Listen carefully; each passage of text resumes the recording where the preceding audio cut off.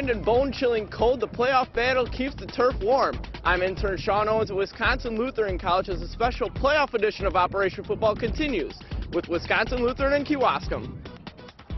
Thank you, intern Sean. Nice job this season. This game was all Wisconsin Lutheran. They controlled the ball in the third quarter when Terrence Ward fumbles in the end zone, recovered by teammate Mason Lamorak for an unconventional score, 28-0 Vikings. In the fourth, Reed Godey picks off Indian quarterback Michael Prochnow, which sets up this Terrence Ward three-yard run, giving Wisconsin Lutheran a commanding 35-0 lead. The Vikings win easily and advance to the next round of the playoffs with a 35 nothing win in our final